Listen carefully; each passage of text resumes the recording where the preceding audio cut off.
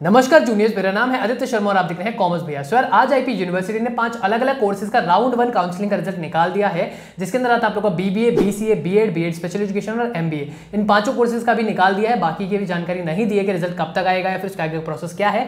But in पाँचों courses के लिए आगे का प्रोसेस क्या है, इस वीडियो में हम लोग डिस्कस करने वाले हैं, इस पूरे नोटिस को। शुरू करते इस वीडियो को बिना किसी प्रॉफिट लॉस के।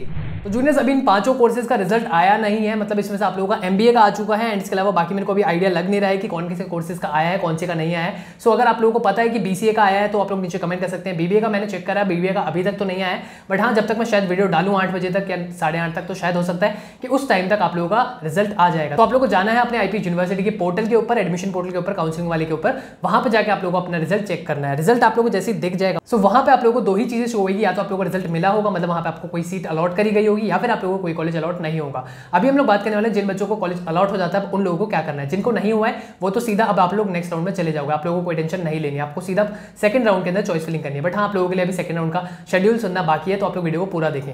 अभी हम लोग बात करते हैं जिन बच्चों को कॉलेज अलॉट हो गया, उनको नौ जुलाई तक का टाइम दिया है नाइन्टी पे करने का। और बीएड और बीएड स्पेशल एजुकेशन के अंदर सिक्सटी पे करने हैं। और इसके अलावा आप लोगों को नौ जुलाई तक का ही टाइम दिया गया फ्रीज या फिर फ्लोट करने का। फ्रीज उन बच्चों को करना है जिनको वो कॉलेज की सीट चाहिए, जिनको वो कॉलेज कन्फर्म करना है अपना। और फ्लोट उन बच्चों को करना है जिन बच्चों को नेक्स्ट राउंड में जाना है। बहुत सारे बच्चों के फ्लोट के अंदर डाउट होते हैं, भैया, अगर हम लोग फ्लोट करेंगे तो क्या हमारी ये वाली सीट रिटेन रहेगी? अगर आपको अगले राउंड में कोई और कॉलेज अपग्रेड नहीं होता आपका सो हाँ आप लोग की पुरानी सीट रिटेन रहने वाली है अगले राउंड के अंदर भी एंड इसके अलावा अगर आप लोग 96,000 भरते हैं तो उनका भी आप लोग को डाउट रहता है भैया रिफंडेबल है सो बिल्कुल आप लोग के 96,000 रिफंडेबल रहते हैं इसमें से आप लोग को 95,000 रिफंड हो जाएँगे इसके अलावा 10 जुलाई तक का टाइम दे रखा आप लोग को आप लोगों को सीट अलॉटमेंट लेटर डाउनलोड करना होगा जो भी बच्चे फ्रीज करेंगे उनको और आप लोगों को विड्रॉल अगर करना है तो आप दस जुलाई तक विड्रॉल भी कर सकते हैं आईपी यूनिवर्सिटी से इसके अलावा हम लोग आते हैं बाकी प्रोसेस के ऊपर आप लोग राउंड टू कब शुरू होगा राउंड टू आप लोगों का चॉइस फिलिंग होगी राउंड टू की ग्यारह तारीख से ग्यारह तारीख से आप लोग राउंड टू की चॉइस फिलिंग स्टार्ट हो जाएगी इसके अलावा आप लोग को सोलह तारीख का आपका रिज़ल्ट आ जाएगा। ग्यारह से मेरे ख्याल से थर्टीन या फोर्टीन तक आप लोग को टाइम मिलेगा चॉइस फिलिंग का।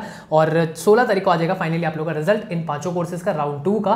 फिर आप लोगों का 18 तारीख तक का टाइम दिया जाएगा 96,000 पे करने का जिन बच्चों को अलॉट हो जाएगी सीट इसके अलावा बहुत सारे बच्चे ये सोचते भैया हमको क्या अगर फ़र्स्ट राउंड में हमने 96,000 पे कर दिए सेकंड में हमको क्या दोबारा से पे करनी है तो आप लोगों को अगेन पे नहीं करने वो सिर्फ़ वन टाइम पेमेंट होती है।